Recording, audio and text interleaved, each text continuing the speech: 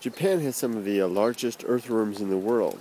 This is by no means a giant, though it is large.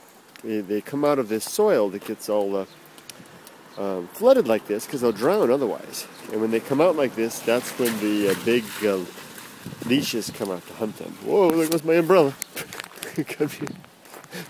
I hate umbrellas. Only reason I'm carrying this because I've got my phones that can't get wet, but it is getting wet.